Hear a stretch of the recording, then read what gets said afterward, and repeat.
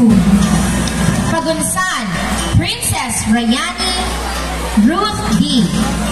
With high honors, Self-Discipline and Prudent Worker Awardee, Rivera Alyona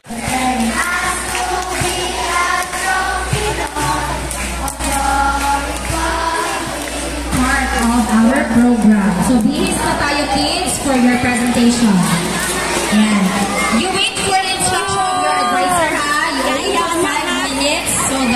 Instruction of your advisor